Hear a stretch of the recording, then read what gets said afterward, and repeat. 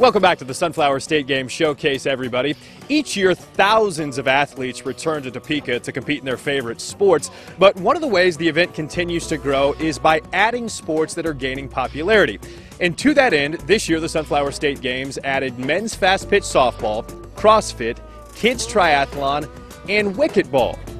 If you're like me and you're asking, what in the world is wicket ball, who better to explain it than the commissioner of wicket ball and the man who invented the sport, Bob Zoller. Bob, thanks for being with us today. So, how in the world did you come up with the idea for wicket ball? You know, I'd actually just found some old wickets beyond barn, my barn that uh, my father-in-law thrown some old wickets. They look like big croquet wickets. I stuck them in the ground when my kids were little, and they just started kicking balls through. We started making rules and starting having tournaments, and we just had a blast with all ages pretty much. So give me the nuts and bolts of how this game is played. So how it works, it's like soccer croquet. If you could think of big wickets, we use a number five soccer ball.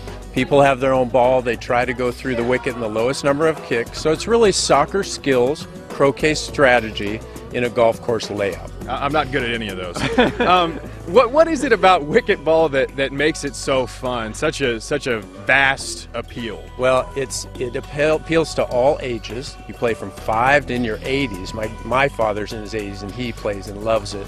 You can get outdoors. It gets you out. It's moderate exercise, and a lot of times people aren't getting outdoors now. So it's just fun. It's it's harder than it looks too.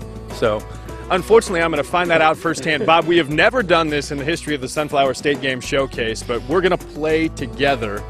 Take it easy on me. Okay. And, and we're going to have a little fun and show people how this works. Right. So I'll let you kick off okay. first, however that works. I'm going to set down my microphone here. All right, we're going to start right from here. Show me the. the guy. That's pretty good. Here goes nothing. Oh, that's nice. Okay, we can work with that. All right, Bob, so how would you assess your first kick? Well, it's not that good. I needed to be in front. Okay, so what will you try to do now? Well, I will try to put it in front and block you and make yours more difficult. So there's strategy like that also? Absolutely. Okay.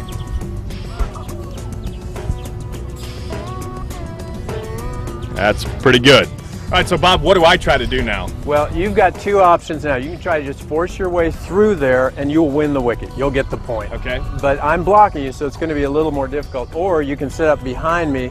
I'll get through, you'll get through, and we'll both we'll get tie. Point. Yeah. Now, if what happens if I hit your ball and it goes through? Wherever, oh, I will get the point.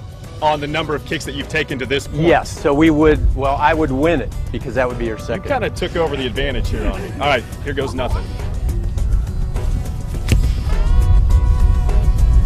Wasn't good. That helped me.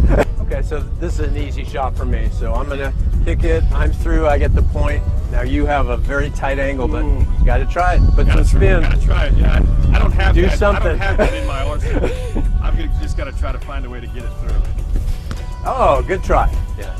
Well, Bob, I suppose it's probably only appropriate that you would beat me at the game you invented. But this is, you know what? This is a lot of fun. It, it, was exciting to, to learn about it and learn how it works. So if we were playing a standard match, we've played the first wicket, you would get a point. Yes. And then explain where we go from there. Then we would start here again. We'd go to wicket number two. Whoever wins that one, or if you tie, you get a point. You play through eight wickets. Whoever's ahead at the end of that wins the match. And each wicket is worth one point. Yes. And if we both get through in the same amount of kicks, which we didn't here, we would both get a point. Correct. Okay, that's it. The nuts and bolts of wicket ball. You could even play it in your own backyard. Absolutely. Bob Zoller, thanks okay. so much for the time. You got a good thing going here. You bet. Thanks okay. for having me. Thanks.